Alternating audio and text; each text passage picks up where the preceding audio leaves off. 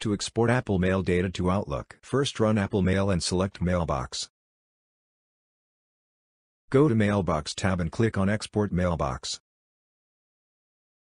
Select the destination to save Mailbox.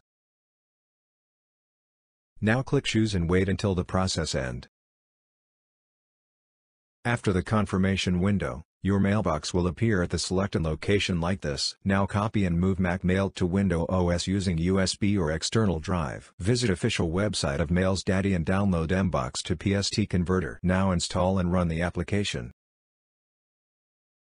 Click on Browse button and enable Apple Mail structure. Browse the file location and select Apple Mail folder then click on Next button. To check the preview of loaded mailbox, click on Folder and select the email. Press Export button for bulk migration. Select all folders and choose PST file format. Select one conversion option, single or separate PST file. Date filter and create log file is optional. Choose the destination and click on Export button. Now wait until the process is over. Click OK button and check your destination. Thanks for watching. Don't forget to subscribe and press the bell icon for more updates.